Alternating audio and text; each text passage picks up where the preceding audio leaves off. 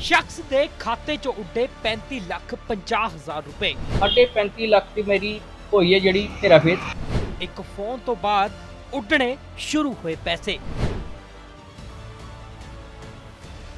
2022 ਚ ਵੀ ਖਾਤੇ 'ਚੋਂ ਉੱਡੇ ਸੀ 7 ਲੱਖ ਰੁਪਏ। ਉਸ ਤੋਂ ਪਹਿਲਾਂ 7 ਲੱਖ ਰੁਪਏ ਦੀ ਹੋਈ ਸੀ।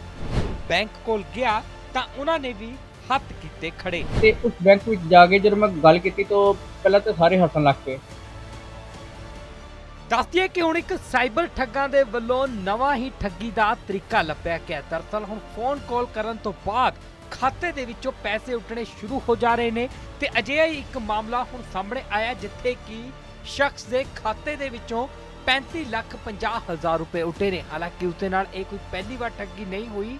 2022 ਦੇ ਵਿੱਚ ਵੀ ਉਸਦੇ ਨਾਲ 7 ਲੱਖ ਰੁਪਏ ਦੀ ਠੱਗੀ ਵੱਜ ਚੁੱਕੀ ਹੈ ਤੇ ਹੁਣ ਜਦੋਂ 35 ਲੱਖ 50 ਹਜ਼ਾਰ ਰੁਪਏ ਦੀ ਠੱਗੀ ਵੱਜੀ ਹੈ, ਤਾਂ ਇਸ ਤੋਂ ਬਾਅਦ ਉਹ ਜਦੋਂ ਬੈਂਕ ਦੇ ਵਿੱਚ ਗਿਆ, ਤਾਂ ਬੈਂਕ ਮੁਲਾਜ਼ਮਾਂ ਨੇ ਵੀ ਹੱਥ ਖੜੇ ਕਰ ਦਿੱਤੇ।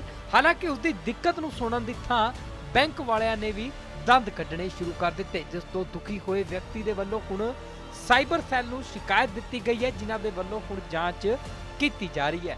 ਦਰਅਸਲ ਮਾਮਲਾ ਕੁਝ ਇਸ ਤਰ੍ਹਾਂ ਹੈ ਕਿ ਪਠਾਨਕੋਟ ਦੇ ਵਿੱਚ ਰਹਿਣ ਵਾਲੇ ਇਸ ਸ਼ਖਸ ਨੂੰ ਪਹਿਲਾਂ ਤਾਂ ਇੱਕ ਫੋਨ ਕਾਲ ਆਉਂਦਾ ਹੈ ਤੇ ਉਸ ਫੋਨ ਕਾਲ ਤੋਂ ਬਾਅਦ ਕਿਹਾ ਜਾ ਰਿਹਾ ਹੈ ਕਿ ਫੋਨ ਦੇ ਵਿੱਚ ਇਨਕਮਿੰਗ ਜੋ ਹੈ ਉਹ ਬੰਦ ਹੋ ਜਾਂਦੀ ਹੈ ਤੇ ਲਗਾਤਾਰ ਉਸ ਦੇ ਖਾਤੇ ਦੇ ਵਿੱਚੋਂ 5-5 ਲੱਖ ਰੁਪਏ ਕਰਕੇ ਕੱਟਣੇ ਸ਼ੁਰੂ ਹੋ ਜਾਂਦੇ ਨੇ। ਤੇ ਜਦੋਂ ਉਹ ਫੋਨ ਦੇ ਵਿੱਚ ਮੈਸੇਜ ਦੇਖਦਾ ਹੈ, ਅਕਾਊਂਟ ਡਿਟੇਲ ਦੇਖਦਾ ਹੈ, ਤਾਂ ਉਸ ਨੂੰ ਦੇਖ ਕੇ ਪਹਿਲਾਂ ਤਾਂ ਉਸ ਦੇ ਪੈਰਾਂ ਦੇ ਥੱਲੋਂ ਵੀ ਜ਼ਮੀਨ ਖਿਸਕ ਜਾਂਦੀ ਹੈ ਤੇ ਫਿਰ ਜਦੋਂ ਉਹ ਬੈਂਕ ਦੇ ਵਿੱਚ ਆਪਣੀ ਪ੍ਰੋਬਲਮ ਨੂੰ ਲੈ ਕੇ ਜਾਂਦਾ ਹੈ, ਤਾਂ ਉੱਥੇ ਜਾ ਕੇ ਬੈਂਕ ਮੁਲਾਜ਼ਮਾਂ ਨੇ ਮਦਦ ਕਰਨ ਦੀ ਥਾਂ ਸਗੋਂ ਉਸ ਦੀ ਪਰੇਸ਼ਾਨੀ ਦੇ ਉੱਤੇ ਦੰਦ ਕੱਢਣੇ ਸ਼ੁਰੂ ਕਰ ਦਿੱਤੇ, ਜਿਸ ਤੋਂ ਦੁਖੀ ਹੋਏ ਵਿਅਕਤੀ ਨੇ ਹੁਣ ਪੁਲਿਸ ਪ੍ਰਸ਼ਾਸਨ ਦੇ ਕੋਲ ਇਨਸਾਫ ਦੀ ਗੁਹਾਰ ਲਗਾਈ ਹੈ। ਹਾਲਾਂਕਿ ਇਸ ਸ਼ਖਸ ਦੇ ਨਾਲ ਇਹ ਕੋਈ ਪਹਿਲੀ ਠੱਗੀ ਦਾ ਮਾਮਲਾ ਨਹੀਂ ਹੈ। 2022 ਦੇ ਵਿੱਚ ਵੀ ਇਸ ਸ਼ਖਸ ਦਾ ਕਹਿਣਾ ਹੈ ਕਿ 7 ਲੱਖ ਰੁਪਏ ਦੀ ਠੱਗੀ ਵੱਜੀ ਹੈ। ਹਾਲੇ ਤੱਕ ਉਸ ਦਾ ਕੋਈ ਵੀ ਇਨਸਾਫ ਨਹੀਂ ਸੀ ਮਿਲਿਆ, ਪਰ ਦੂਜੇ ਪਾਸੇ ਹੁਣ ਕੁਝ ਦਿਨ ਪਹਿਲਾਂ 35 ਲੱਖ 50 ਹਜ਼ਾਰ ਰੁਪਏ ਵੀ ਉਸਦੇ ਖਾਤੇ ਦੇ ਵਿੱਚੋਂ ਉੱਡ ਗਏ ਨੇ, ਜਿਸ ਤੋਂ ਹੁਣ ਉਹ ਕਾਫੀ ਜ਼ਿਆਦਾ ਦੁਖੀ ਹੈ।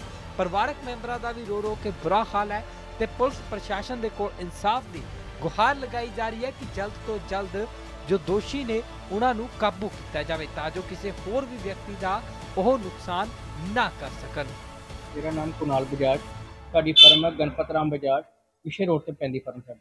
ਇਹ ਕੀ ਹੋਇਆ? ਤੁਹਾਡੇ ਨਾਲ ਕਿਸ ਤਰ੍ਹਾਂ ਠੱਗੀ ਹੋਈ? ਉਹਦਾ ਇਹਦਾ ਪਤਾ ਕਿਸ ਤਰ੍ਹਾਂ ਲੱਗਾ ਤੁਹਾਨੂੰ?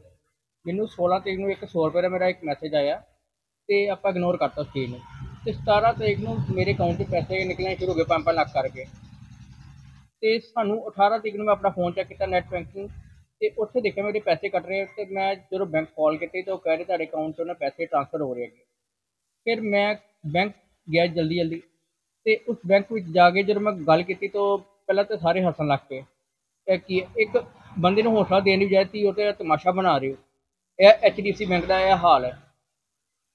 ਫਿਰ ਸਾਰੇ ਅਕਾਊਂਟ ਫ੍ਰੀਜ਼ ਕਰਵਾਏ ਉਸਨੇ। ਉਸੇ ਵੇਲੇ ਮੈਂ ਸਾਈਬਰ ਕ੍ਰਾਈਮ 'ਚ ਗਿਆ।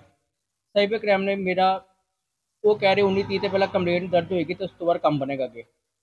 ਫਿਰ ਚਲੋ ਉਹਨਾਂ ਨੇ ਫਿਰ ਵੀ ਜੋ ਵੀ ਹੈਗਾ ਕਹਿੰਦੇ ਐਪਲੀਕੇਸ਼ਨ ਲਿਖਾਓ ਟਾਈਪ ਕਰਾਓ ਤੇ ਉਸ ਤੋਂ ਬਾਅਦ ਤੁਹਾਡਾ ਆਪਾਂ ਕਰਨੇ ਆ। ਫਿਰ ਉਹਨਾਂ ਨੇ ਜਦੋਂ ਮੈਂ ਐਪਲੀਕੇਸ਼ਨ ਲਿਖ ਕੇ ਦਿੱਤੀ ਤੇ ਉਹਨਾਂ ਨੇ ਮੇਰੀ ਕਾਰਵਾਈ ਸ਼ੁਰੂ ਕਰਤੀ। ਕਿੰਨਾ ਨੁਕਸਾਨ ਹੁਣ ਤੱਕ ਤੁਹਾਡਾ ਹੋਇਆ ਆ? ਪੁਲਿਸ ਵੱਲੋਂ ਕੀ ਸਹਿਯੋਗ ਮਿਲ ਰਿਹਾ? ਬੈਂਕ ਵੱਲੋਂ ਕੋਈ ਕੀ ਸਹਿਯੋਗ ਮਿਲ ਰਿਹਾ? ਸਾਢੇ 35 ਲੱਖ ਦੀ ਮੇਰੀ ਹੋਈ ਹੈ ਜਿਹੜੀ ਤੇਰਾ ਫੇਰ। ਉਸ ਤੋਂ ਪਹਿਲਾਂ 7 ਲੱਖ ਰੁਪਏ ਦੀ ਹੋਈ ਸੀ। ਤੇ 7 ਲੱਖ ਦਾ ਤੇ ਮੈਨੂੰ ਹਜੇ ਤੱਕ ਕੋਈ ਜਵਾਬ ਨਹੀਂ ਲੱਗ ਰਿਹਾ। 8 8 2022 ਚ ਮੇਰਾ ਕੰਮ ਹੋਇਆ ਸੀ ਇਹ ਵਾਲਾ ਤੇ ਇਹ ਸਾਢੇ 35 ਲੱਖ ਦੀ 17 ਤਰੀਕ ਨੂੰ ਮੇਰਾ ਕਾਂਡ ਹੋਇਆ। ਤੇ ਕਿਸ ਤਰ੍ਹਾਂ ਹੁਣ ਫਿਰ ਕਿਸ ਤਰ੍ਹਾਂ ਏਡੀ ਵੱਡੀ ਅਮਾਉਂਟ ਜਿਹੜੀ ਹੈ ਤੁਹਾਡੇ ਬੈਂਕ ਦੇ ਖਾਤੇ ਦੇ ਵਿੱਚੋਂ ਨਿਕਲ ਚੁੱਕੀ ਆ? ਹੁਣ ਕੰਮ ਕਰਦੇ ਕੀ ਹਾਲਾਤ? ਦੇਖੋ ਜੀ ਉਦਾਂ ਤੇ ਮਾਰਕੀਟ 'ਚ ਕਾਰੋਬਾਰ ਬਿਲਕੁਲ ਵੀ ਨਹੀਂ ਹੈਗਾ। ਜੇ ਐਦਾਂ ਠੱਗੀਆਂ ਹੋਣ ਲੱਗ ਪਈਆਂ ਤਾਂ ਆਪਾਂ ਕਾਰੋਬਾਰ ਕਿੱਦਾਂ ਕਰਾਂਗੇ? ਕੀ ਮੰਗ ਕੀ ਕਰਦੇ ਹੋ ਪ੍ਰਸ਼ਾਸਨ ਤੋਂ ਜਾਂ ਆਪਣੇ ਬੈਂਕ ਵੱਲੋਂ? ਬੈਂਕ ਨੂੰ ਕੀ ਕਹਿਣਾ ਚਾਹੁੰਦੇ ਮੈਂ ਇਹ ਕਹਿਣਾ ਮੇਰਾ ਜਿਹੜੀ ਇਹ ਕਾਰਵਾਈ ਜਲਦ ਤੋਂ ਜਲਦ ਕੀਤੀ ਜਾਏ ਮੈਨੂੰ ਜਿਹੜੇ ਮੇਰੇ ਪੈਸੇ ਮੈਨੂੰ ਵਾਪਸ ਮਿਲਦੇ ਮਿਲ ਜਾਣ। ਨਾ ਅਜੇ ਤੱਕ 7 ਲੱਖ ਮਿਲਿਆ ਨਾ ਅਜੇ ਤੱਕ ਸਾਡੇ 35 ਲੱਖ ਮਿਲਿਆ।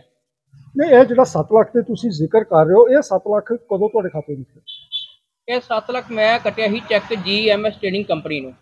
ਤੇ ਬੈਂਕ ਨੇ ਇਸ ਨਾਮ ਨੂੰ ਪੜਿਆ ਨਹੀਂ ਤੇ ਬੈਂਕ ਨੇ ਉਸ ਅਕਾਊਂਟ ਵਿੱਚ ਟ੍ਰਾਂਸਫਰ ਕਰਤਾ ਉਹ ਸੀ ਸੇਵਿੰਗ ਖਾਤਾ। ਆਸ਼ੀਸ਼ ਕੁਮਾਰ ਦੇ ਨਾਮ ਤੇ। ਤੇ ਇਹਦੇ ਬਾਰੇ ਬੈਂਕ ਨੂੰ ਕੰਪਲੇਨ ਨਹੀਂ ਕੀਤੀ ਕਿ ਤੁਸੀਂ ਦੂਸਰੇ ਬੰਦੇ ਦੇ ਖਾਤੇ ਵਿੱਚ ਪੈਸੇ ਪਾ ਦਿੱਤੇ? ਆਪਾਂ ਬੈਂਕ ਨੇ ਨੂੰ ਕੰਪਲੇਂਟ ਕੀਤੀ। ਬੈਂਕ ਕਹਿੰਦੇ ਆਪਾਂ ਨਾਮ ਨਹੀਂ ਪੜਦੇ ਤਾਂ ਆਪਾਂ ਬਸ ਅਕਾਊਂਟ ਨੰਬਰ ਚੈੱਕ ਕਰਨੇ ਆ। ਤਾਂ ਧਰਮ ਪਤਨੀ ਵੀ ਸਾਡੇ ਨਾਲ ਇਸ ਵੇਲੇ ਮੌਜੂਦ ਨੇ ਉਹਨਾਂ ਨਾਲ ਗੱਲ ਕਰਦੇ ਆ ਕਿ ਪਰਿਵਾਰ ਤੇ ਕਿੰਨਾ ਕਸਰ ਪਿਆ। ਮੈਡਮ ਜਿਸ ਵੇਲੇ ਇਹ ਸਾਰਾ ਕੁਝ ਹੋਇਆ ਉਹਦੇ ਬਾਅਦ ਇਹਨਾਂ ਦੇ ਕੀ ਹਾਲਾਤ ਸੀਗੇ ਜਾਂ ਪਰਿਵਾਰ ਦੇ ਕੀ ਹਾਲਾਤ ਸੀ?